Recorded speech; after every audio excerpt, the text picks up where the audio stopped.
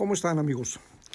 Teniendo como fondo la presa del Salitre en Valparaíso, Zacatecas, y donde cuenta actualmente solamente con el 6% de captación de agua, voy a presentarles cómo el gobierno de López Obrador abandonó el campo.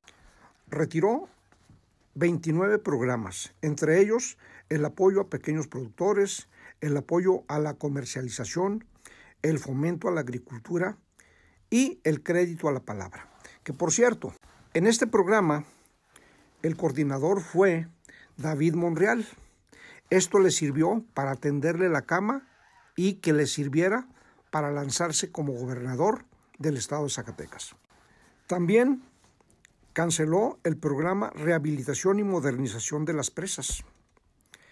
Por cierto, si ustedes se acercan a la Comisión Nacional del Agua para solicitar una concesión para un pozo artesano, quiero decirles que se lo niegan. Así de ese tamaño están las cosas. El presidente menciona que los productores del campo son gandallas, corruptos y chantajistas. Esa es la etiqueta que nos pone a todas las personas que vivimos en el campo. Tenemos un presidente que es candil de la calle y oscuridad de su casa. Resulta que asignó cerca de 600 millones de dólares al pueblo cubano para donarles tractores y hacer extensivo el programa Sembrando Vida. Nuestro flamante gobernador tuvo la osadía de asignarle al 2024 el año de la paz. Además de tenerlo abandonado en el área agrícola lo tiene sumido en el top de la inseguridad a nivel nacional.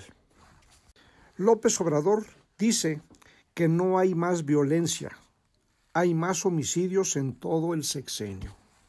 Esa es la definición que tiene el gobierno sobre la violencia que se vive en nuestro país.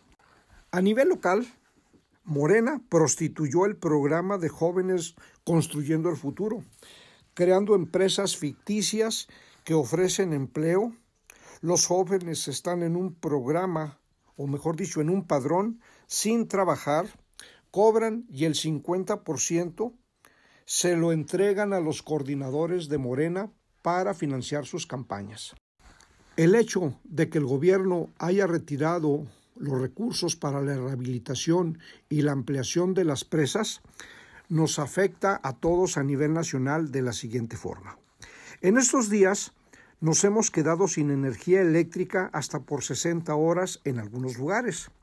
Esta falla no es por daños a la red, se debe a la incapacidad del gobierno para generar energía por falta de inversión.